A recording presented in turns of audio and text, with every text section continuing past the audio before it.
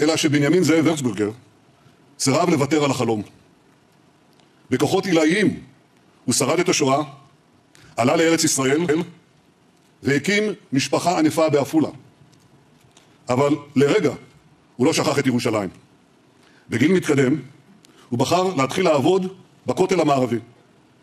מבחינתו זה היה הניצחון המוחץ על הצורר, ההוכחה הניצחת שעם ישראל חי.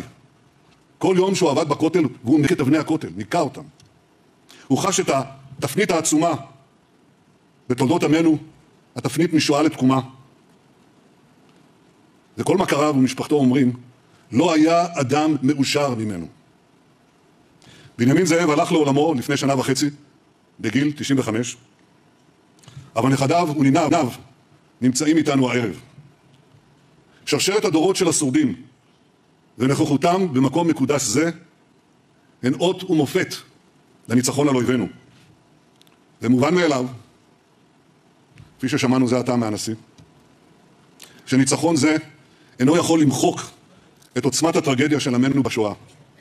קהילות שלמות נחרבו, מיליוני אחינו ואחיותינו נטבחו במיטות מחרידות, ונוסף עליהם נרצחו מיליוני בני עמים אחרים.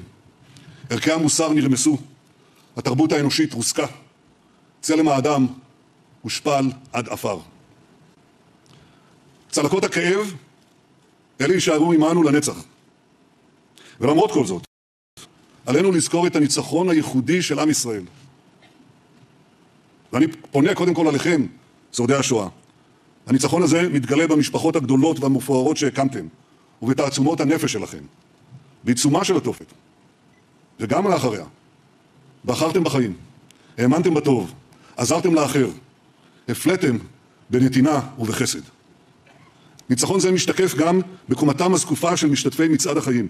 בשנים האחרונות המצעדים מתרחפים לארצות דוברות הלדינו, יוון, צפון מקדוניה, בולגריה, וכן לצאצאי הקהילות היהודיות בצפון אפריקה, שגם הן נידונו לכליה על ידי הנאצים. אבל פסגת הניצחון, פסגת הניצחון היא עצמאות מדינתנו בת ה-75. ישראל היא מדינה חופשית, תוססת, דמוקרטית, עתירת הישגים. מדינה שכולנו יחד בונים אותה דור אחר דור.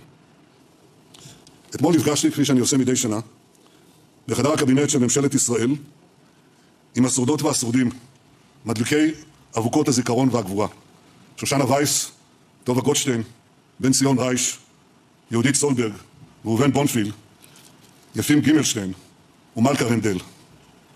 אחיה של מלכה, הרב אפרים מול, גם הוא נכח במפגש. הוא ניגש אליי אחרי שכולם סיימו את דברם, הוא היה נרגש, נרגש מאוד, אבל לצערנו, מיד לאחר המפגש, הוא לקה באירוע מוחי קשה. כולנו מתפללים לשלומו. שמעתי בהתרגשות את סיפוריהם מרטיטי הלב של הניצולים עזי הרוח. לאחר פרקי האפלה, בראשית חייהם, באו פרקי האור בהמשך.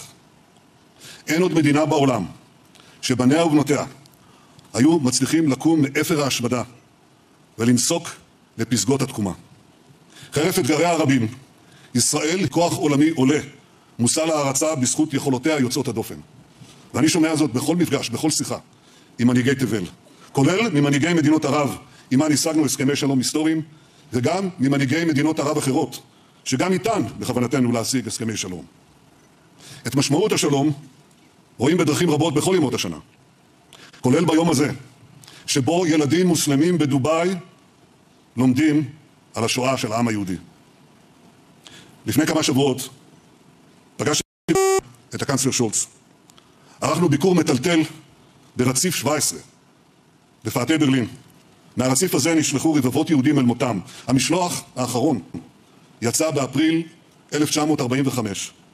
שבועות ספורים לפני כניעת הנאצים, עדיין, עדיין התעקש משטר האימים להשמיד את אחרוני היהודים.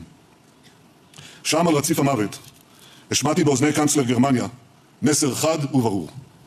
לפני שמונה עשורים, עם יציאתנו מתהומות הישע, נולדה לה מדינת היהודים מחדש. אמנם העולם השתנה מאז, אבל הקריאות להשמדתנו לא פסקו, וכיום הן באות ממשטר האימים בטהרן. הלקח העיקרי שלמדנו בשואה הוא שעלינו לבלום את כוחות הרשע מוקדם ככל האפשר.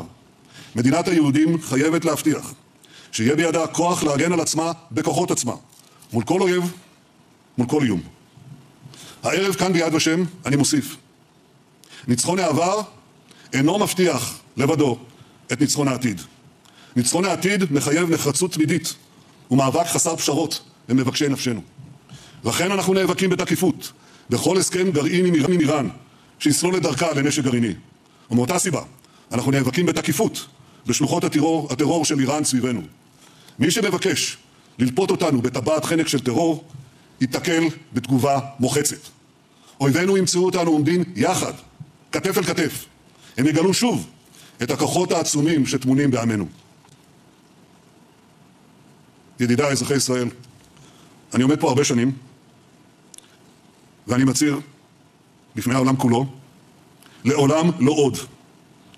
הפעם אני מבקש להדגיש, מבקשי נפשנו, הצוררים החדשים, אולי חושבים שאין לנו את הנחישות והלחיתות הפנימית לעמוד מולם. הם טועים בגדול.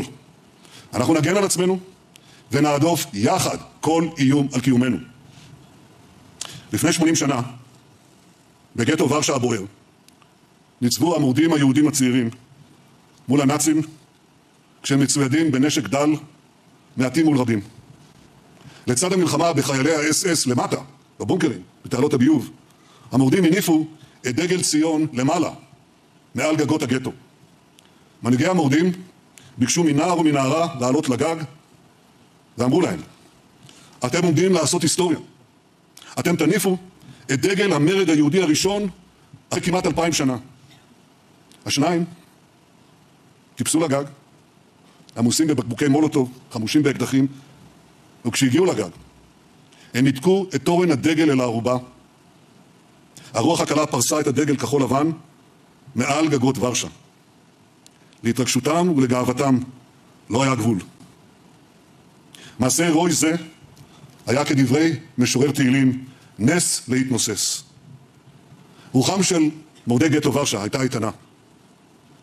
אבל עדיין, עדיין הייתה תהום אידיאולוגית פעורה ביניהם, בין מרדכי אנילביץ' ופאבל פרנקל. תהום אידיאולוגית שמנעה מהם להתאחד גם ברגעים אחרונים, ברגעים הקשים ביותר. הסיפור מלא ההוד והכאב של מרד גטו ורשה ממחיש את גורל הגבורה ואת גודל הגבורה שטמונה בעמנו, והוא גם מחייב אותנו לאמץ את צו הדורות. רוח, כוח ואחדות פנימית. רק כך ננצח את הקמים עלינו לכלותנו. רוח, כוח ואחדות פנימית. רק כך נמשיך להבטיח את ניצחון ישראל. רוח, כוח ואחדות פנימית. אלה בדיוק הדברים שאותם ביטא לפני ימים אחדים הרב לאו די מהיישוב אפרת. ברגע הנורא בחייו, בהלוויות של אשתו לוסי ובנותיו, מאיה ורינה, לאו זעק את קריאת הנצח, שהייתה גם תמצית חייו של בנימין זאב וקסברגר, אותה קריאה שמחברת את כולנו.